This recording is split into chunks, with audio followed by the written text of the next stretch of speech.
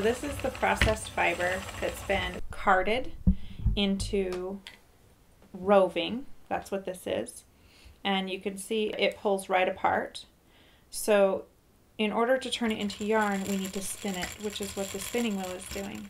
What I'm doing with my hands is called drawing. And this is called a short draw.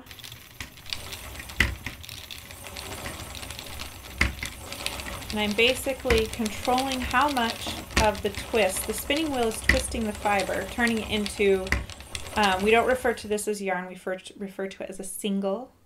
Um, and it can be used as yarn, but oftentimes you'll put more of them together and ply them together. It's a process that takes a lot of practice. It's not something you can just sit down and do. You might notice that I'm spinning barefoot, and you always spin either in your bare feet or your stocking feet.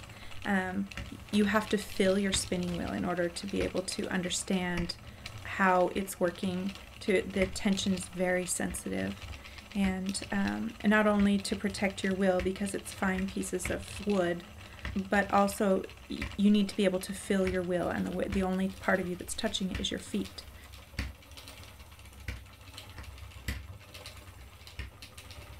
My name's Megan Wright, and I'm uh, so I'm a fiber artist. Knitting is a family tradition. My grandmother taught me when I was eight years old. All the women in my family knit. When we were younger, we were always around my grandmother, who always has knitting with her, always.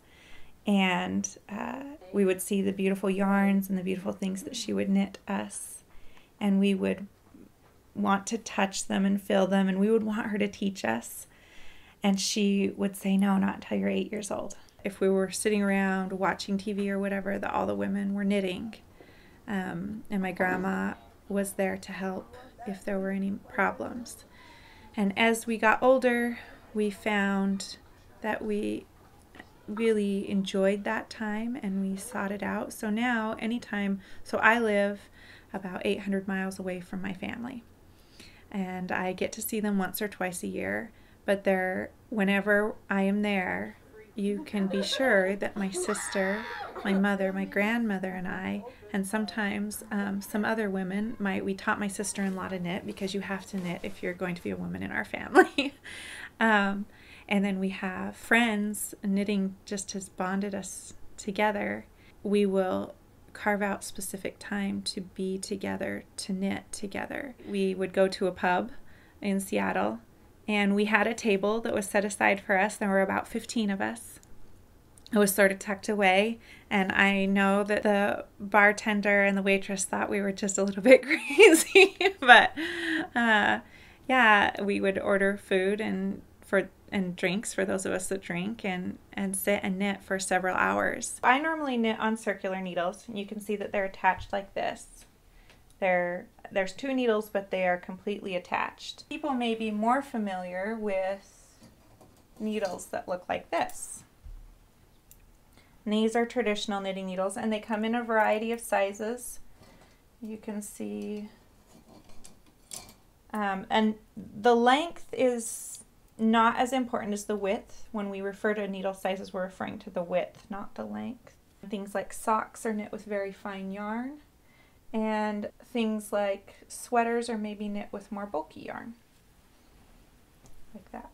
Knitting is just making a series of organized knots. And there are several different ways of casting on but this is how the most basic one and the one that i always teach my students. There are only two types of stitches in knitting and everything else is a variation on those two and those are knits and purls through the back of the stitch over the top, through the loop, and off. Through the back of the stitch, over the top, through the loop, and off. You go through the front of the stitch, over the noodle, through the loop, and off. So it's actually a knit stitch in reverse. It's very easy. Children can do it.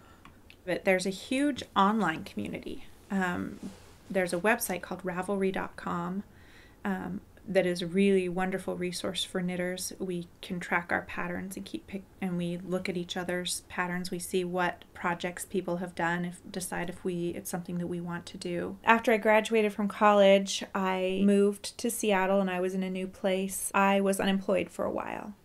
And knitting, it's very meditative. It's very calming and it also makes you feel very productive. You're creating something. So during this time of unemployment and frustration, it was really a um, a help to me to keep me from getting depressed and and then eventually uh, it wasn't the first job that I got, but eventually I ended up working in a yarn store. So then I was surrounded with yarn and fiber all the time, and just being immersed in it all the time just took it to the next level in my life. 101 Designs, One Skein Wonders. My first published pattern that I was actually paid for. It is very warm. and yeah, so I've probably written, uh, oh, I don't know, maybe 50 or 60 patterns and I've had maybe half a dozen published. It's a lot of math, a lot of geometry. I have had people tell me, "Oh, I don't want to knit because there's so much math involved." But you don't have to make it heavy in math. It, you know, there there are all sorts of things from knitting a scarf to knitting a complex um, sweater to knitting, you know, 3D objects like a doll or a stuffed animal. Um, and so it can be whatever you want it to be. But for me, I get a lot of enjoyment out of that logic and that structure. So I really enjoy that.